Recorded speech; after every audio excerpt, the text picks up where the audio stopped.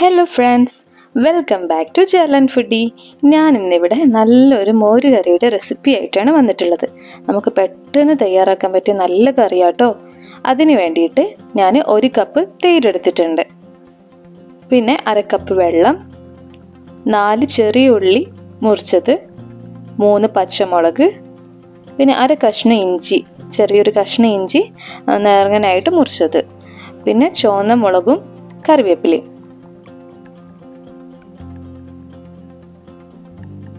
നമുക്ക് മിക്സിയുടെ ജാറിലേക്ക് തേരും വെള്ളം ഒഴിച്ചിട്ടൊന്ന് അടിച്ചെടുക്കാം കേട്ടോ.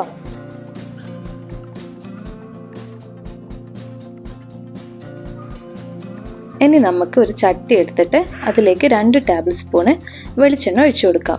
എന്നിട്ട് അതിലേക്ക് അര ടീസ്പൂൺ കടുക് ഇട്ടിട്ട് പൊട്ടിച്ചെടുക്കാം. എന്നിട്ട് ഇതിലേക്ക് ഉണക്കമുളകും കറിവേപ്പിലയും ഇട്ടിട്ട് കുറച്ച് സമയം ഒന്ന് വഴറ്റിയെടുക്കാം. പിന്നെ നമുക്ക് ചെറിയ ഉള്ളിയും പച്ചമുളകും ഇഞ്ചിയും ഇട്ടിട്ട് കുറച്ച് ടൈം ഒന്ന് ഇങ്ങനെ വഴറ്റിയെടുക്കാം.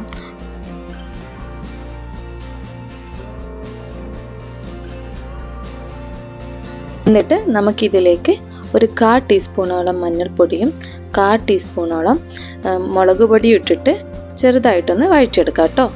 എന്നിട്ട് നേരത്തെ അട അടിച്ചു വെച്ച ആ മോര് ഇതിലേക്ക് ഒഴിച്ചു കൊടുക്കാം.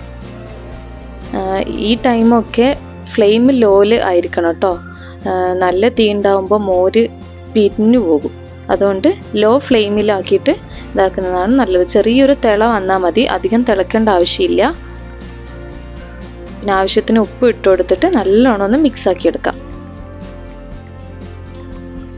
എന്റെ ഈ വീഡിയോ കാണുന്ന എല്ലാവരും എന്റെ ചാനൽ സബ്സ്ക്രൈബ് ചെയ്യണേ. അതുപോലെ ലൈക്കും ഷെയറും ചെയ്യണേ.